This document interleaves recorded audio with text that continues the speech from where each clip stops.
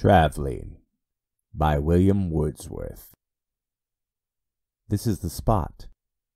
How mildly does the sun shine in between the fading leaves.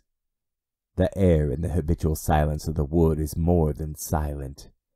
And this bed of heath, where shall we find so sweet a resting place? Come, let me see thee sink into a dream of quiet thoughts protracted till thine eye be calm as water and the winds are gone and no one can tell whither. My sweet friend, we two have had such happy hours together that my heart melts in me to think of it.